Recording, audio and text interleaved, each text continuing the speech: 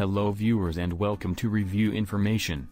In this video I will show you, how to get early access to Meta AI chat on WhatsApp. Subscribe to my channel and hit the bell icon to get notified any updates. WhatsApp is slowly rolling out Meta AI in beta, an advanced conversational assistant, which can answer your questions, teach you something, or come up with new ideas. Let's see how to get this. To begin, open WhatsApp on your phone.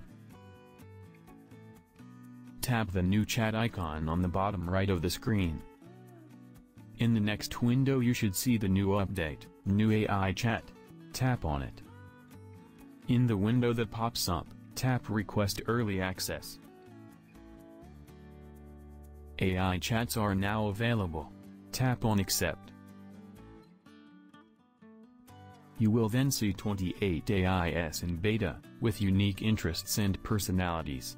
Some are played by cultural icons and influencers, including Meta AI, Lorena, Bru, and many more.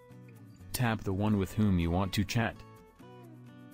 Now you can send any message related to him.